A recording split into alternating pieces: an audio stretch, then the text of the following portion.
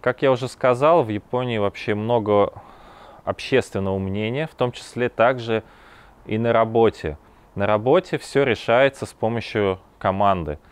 Все решается как бы не одним человеком, а обсуждением в компании. Ну, вот на примере моем у нас есть э, наша команда, с кем мы работаем по нашему проекту, и любые вопросы, любые проблемы, любые сложности мы обсуждаем на регулярных встречах.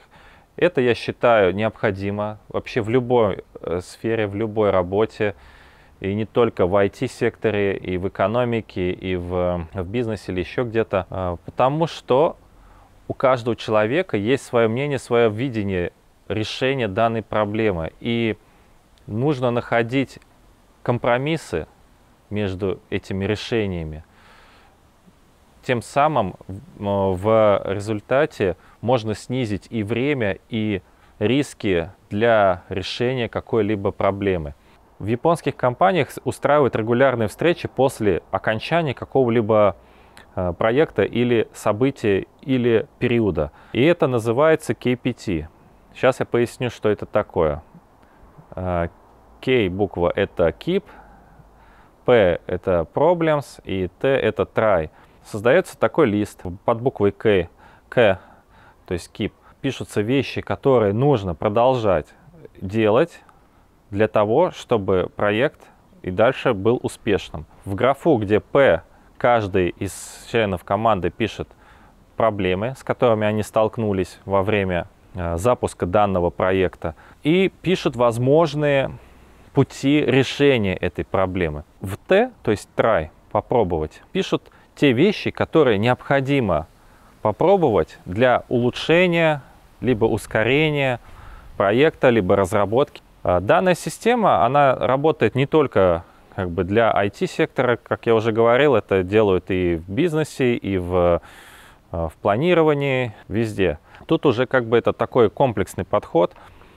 А, я в целом рассказываю вообще про систему работы вот именно в японских компаний, а не только отдельно взятой какой-то компании. Данная система, она при, применима практически к любой японской компании – и, как я уже говорил, э, многие компании следуют определенному алгоритму, следуют определенной структуре и следуют определенным правилам работы в компании. Когда вы будете начинать работать в Японии, вы уже будете примерно представлять, что нужно знать, что нужно делать. Конечно же, чтобы это все понять и узнать про все аспекты работы в японских компаниях, нужно немного поработать здесь, хотя бы полгода-год, Э, на постоянке в японской компании, тогда вы примерно будете уже представлять вообще, о чем я рассказываю. Просто стиль работы и вообще в целом подход к работе зависит от страны. Я думаю, что многие согласятся, те, кто работали в, в Америке, в Европе, в России, в Японии, подход немного отличается. И это можно даже увидеть вот невооруженным взглядом. То же самое относится к дресс-коду, когда а, например, в японских компаниях запрещено носить а, одежду отличную от других. К примеру, если это компания, которая а, бизнесом занимается, и там работают люди все в пиджаках, в белых рубашках. Если вы придете в какой-то одежде, которая другого цвета, например, футболка или еще что-то, то это будет нарушать дресс-код. Конечно, таких компаний немного, но они есть. И в основном это государственные компании, госслужащие и компании, которые следуют еще старому кодексу работы. Также я могу сказать то, что в японских компаниях э, не торопится изменять кодекс э, для работников. И вообще в целом вот этот подход к работе, он остается надолго на долгие годы.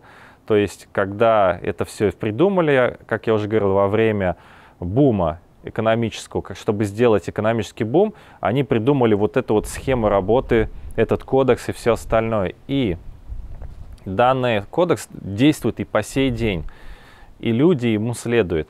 И несмотря на то, что все поменялось, мир меняется, и уже нет это, этого экономического бума. И не нужно так, как говорится, впахивать там до посинения, перерабатывая по 60 часов и более в месяц.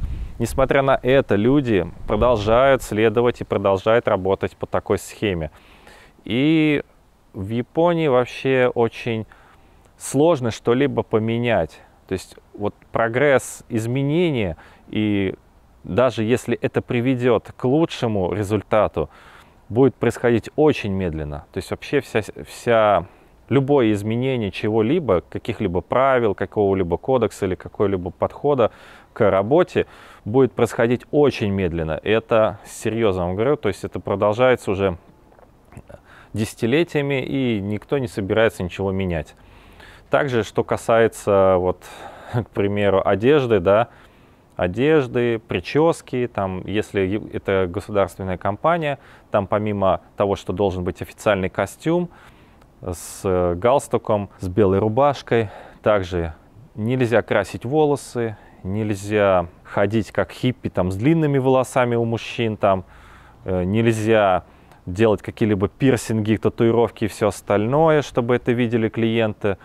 Э, в общем, там очень много ограничений. Я на самом деле сейчас их всех не перечислю, но я вам могу сказать с уверенностью, что там большой список. Когда-нибудь, возможно, я сделаю отдельное видео по этому теме. Кстати, то же самый кодекс и вообще система обучения также применима и к школам. И к школам, к, универ... к универам, колледжам, к всему остальному. Также еще, ну, немного не по теме, как есть такие неписанные правила – их тоже нужно изучить. Погуглите вообще в Японии, какие есть неписанные правила, чего следует придерживаться и вообще в целом, чтобы не выглядеть как э, Бака Гайджин, чтобы хотя бы вы знали элементарные правила нахождения в Японии. Но это вот основные советы, которые я бы хотел вам рассказать на сегодня. Но если у вас остались какие-либо вопросы, обязательно задавайте их в комментариях. А если вам понравилось, не забывайте подписываться, ставьте лайки, делитесь этим видео с друзьями. Ну и нажимайте на колокольчик, чтобы не пропустить новые видео о Японии. Ну а с вами был Дэн. До новых встреч. Пока.